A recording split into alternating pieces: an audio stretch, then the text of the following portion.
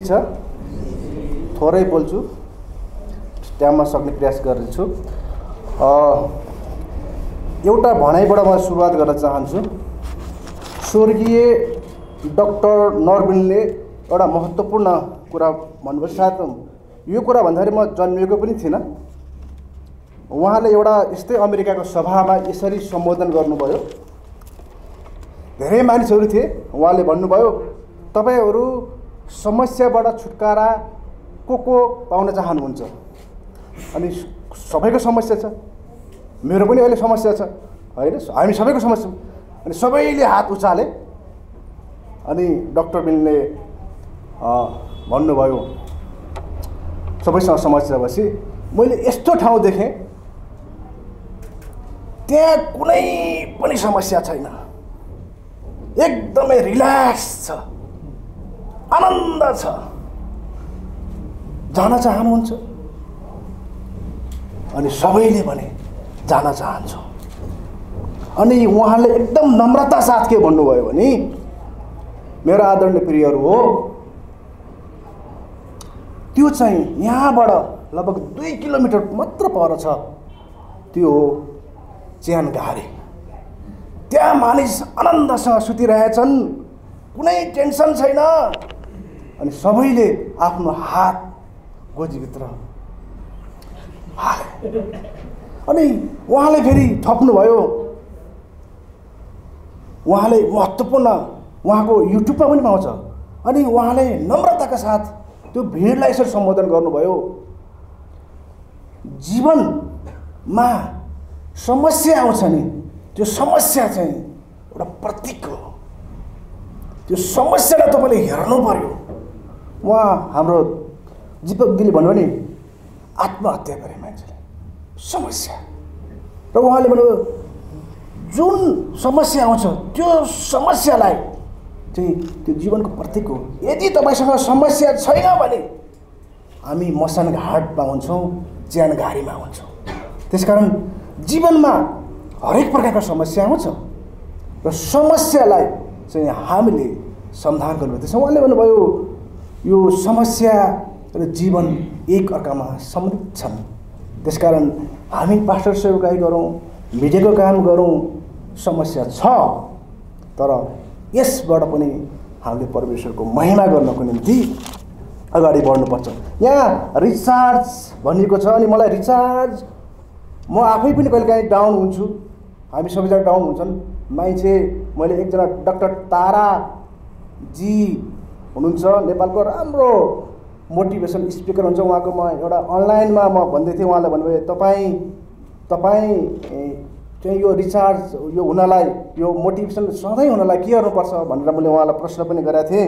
अनि सबैको कुरा मैले बुझ्दाखेरि मैले के चाल पाएँ भन्दाखेरि रिचार्ज जब हामी हुन्छ भने त्यसपछि त्योबाट के गर्ने? त्यो महत्त्वपूर्ण रहेछ। यदि तपाईँ रिचार्ज मोबाइल रिचार्ज गरेपछि तपाईँ के गर्नुहुन्छ? युट्युब हेर्नुहुन्छ फेसबुक हेर्नुहुन्छ काम गर्नुहुन्छ फोन गर्नुहुन्छ तपाईँको जीवन रिचार्ज हुन्छ भने तपाईँ केमा प्रयोग गर्ने? त्यो महत्त्वपूर्ण हो। कुन कामको उद्देश्यको निम्ति तपाईँ प्रयोग गर्नुहुन्छ? त्यो चाहिँ परमेश्वरको उद्- उद्देश्यको निम्ति हो वा तपाईँ आफ्नो निम्ति हो आफ्नो परिवारको निम्ति हो वा उद्देश्य केन्द्रित रिचार्जले जहिले पनि उद्देश्यमा पुर्याउँछ। र मिडियाले पछिल्लो समयमा यहाँ धेरै कुरा आएका छन्। मिडियाले नेपाली मण्डलीको लागि मण्डली र मिडियालाई छुट्याइयो भने मण्डली लङ्गडो हुन्छ। पहिलाको जमाना थियो होला लुकिएर मण्डलीले काम गर्थ्यो होला। अहिले त मिडिया नचाहने मण्डलीहरू पनि उहाँहरूको चर्चको युट्युब छ युट्युब च्यानल छ फेसबुक लाइभ हुन्छ जुममा हुन्छ अरू विभिन्न सामाजिक सञ्जाल प्रयोग भएको छ। यो चाहिँ खुसीको कुरो हो। किन भन्दाखेरि परमेश्वरले चाहिँ सुसमाचार सुनाउनको निम्ति सारा संसार बनाउने माध्यम के हो भन्दाखेरि मिडिया हो। र अर्को कुरो चाहिँ उहाँ परमेश्वरले भन्नुभयो ढुङ्गा बोल्छ। याद गर्नुहोस् तपाईँले सर्च गर्नुहोस् यो जति क्यामेराहरू छन् यो माइकहरू छन् यसमा ढुङ्गा मिसाइएको हुन्छ। वास्तवमा उहाँले बोलेको कुरा चाहिँ पुरा भएको छ। त्यसकारण मिडिया उहाँले भनेको कुरामा सम्बन्धित छ। त्यसकारण चाहिँ नेपाली मण्डलीले मिडियालाई म्याक्सिमम् प्रयोग गर्नुपर्छ। म त भन्छु राष्ट्रिय स्तरका मिडियाहरू प्रयोग गर्नुपर्छ। राष्ट्रिय चाहिँ मिडिया कर्मीलाई प्रयोग गर्नुपर्छ र सिक्दै गरेका र बिचमा भएकालाई पनि पुसअप मण्डली लगानी गर्नुपर्छ। यस्ता रिचार्ज प्रोग्रामहरू त म भन्छु अब त महिना महिनामा गर्दा पनि हुन्छ। किनकि धेरै मानिसहरूले चाहिँ यो रिचार्ज डाउन भइरहेका छन् डाउन भइरहेका छन् लो भइरहेका छन्। त्यस कारण यस्ता कार्यक्रमहरू चाहिँ गरि गरिनुपर्छ। र पछिल्लो समयमा सस्टेन्डिङका कुराहरू आउँछन्। नेपाली मण्डलीहरू अब सस्टेन्डिङ हुनुपर्छ र यो अहिलेको अवस्थामा धाराशाही भएको छ यो लकडाउनले अनि नेपाली मिडियाकर्मीहरू पनि धाराशाही भएका छन्। यो समयमा मिडिया हाउसहरूलाई गाह्रो छ मिडियाकर्मीहरूलाई गाह्रो छ अनि यस विषयमा चाहिँ मण्डलीका अगुवाहरू लिडरहरू यस्ता कार्यक्रम आयोजकहरूले चाहिँ गर्नुपर्छ। र हामीले पनि मैले पनि धेरै मण्डलीहरू बनाउनको लागि सहायता गरेको छु र अरू हाम्रा मिडियाकर्मी साथीहरूले पनि अप्ठ्यारोमा परेका गाह्रोमा परेका समस्यामा परेकाहरूलाई धेरैले अनि सहायता पुर्याइरहनु भएको छ। उहाँहरूलाई अझै यस सभाबाट चाहिँ उहाँलाई अगाडि बढ्नलाई उत्साह दिन्छु। एउटा कुरो चाहिँ हामीले यो गर्दै गर्दाखेरि हामी सी ग्रेडको मिडिया चाहिँ हुन्छौँ भन्ने सबभन्दा खतरा छ। र यो चाहिँ सोच्नुपर्ने विषय छ। किन सिग्रेटका फिल्महरू तपाईँहरूले हेर्नुहुन्छ युट्युबहरूमा अरू विभिन्न सामाजिक सञ्जालमा वेबसाइटहरूमा यदि नेपाली इसाई मिडियाहरू सिग्रेटका भयो भने के हुन्छ? वा विश्वमा भएका मिडियाकर्मीहरू सिग्रेटका भयो भने के हुन्छ?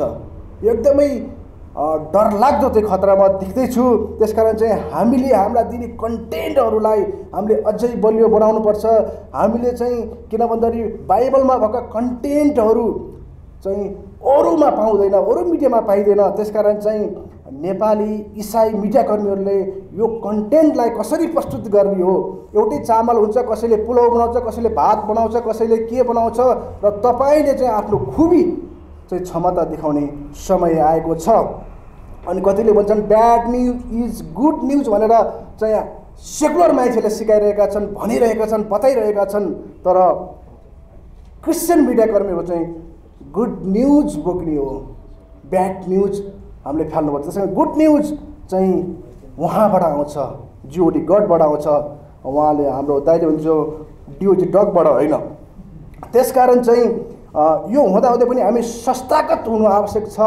यो काम गर्दै गर्दाखेरि र सङ्गठित हुनुपर्ने अवस्था देखिन्छ अनि सङ्गठित भइएन भने छरिएर हामीले आगो बाल्न सक्दैनौँ खाना पकाउन सक्दैनौँ ताप्न सक्दैनौँ रात दिन सक्दैनौँ। त्यसकारण चाहिँ पास्टर अगुवा होस् मिडियाकर्मी होस् साधारण अगुवा होस् हामी सङ्गठित हुनु नै पर्छ। त्यसकारण चाहिँ यो दौड हो यदि क्रिस्चियन जीवन दौड्न छोड्छ भने ऊ मर्न सुरु गर्छ। र तपाईँहरू चाहिँ दौड्नुहोस्। हामी सबै दौड्नुपर्छ। यदि हाम्रो दौड चाहिँ सकियो भने हाम्रो मिडिया पनि सकिन्छ हाम्रो सेवाकाई पनि सकिन्छ। त्यस कारण क्रिस्चियन जीवन दौडी हो रोकिने होइन।